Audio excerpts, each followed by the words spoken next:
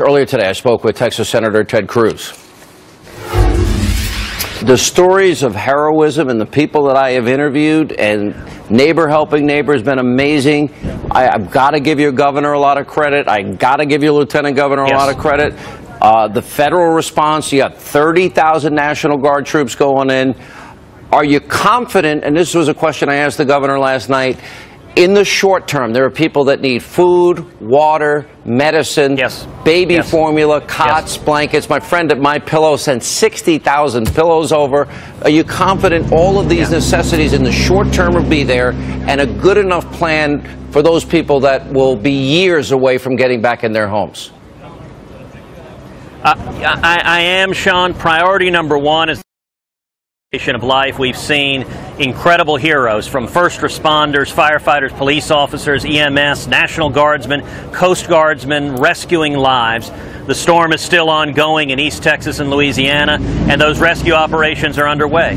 The next stage is going to be rebuilding. I've spent this morning at, at the shelter at the George R. Brown Convention Center helping serve breakfast, helping care for people there. There we had 11,000 people who, who had lost their homes, who spent the night there last night. And we're seeing churches and charities and private citizens throughout the community stepping up.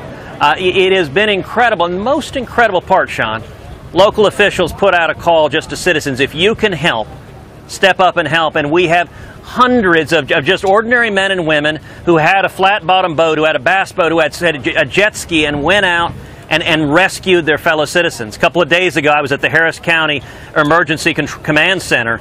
There's an entire wall of post its of all the people who called in and said, I've got a boat, I can help. Hundreds upon hundreds. This death toll, as horrifying as it is, we lost one brave Houston police officer. It could have been much, much higher. And the reason it isn't is so many people risk their lives. We're going to have the resources at the state level, at the local level, and the federal level. The president has committed unequivocally to supporting the people of Texas and Congress in a bipartisan way.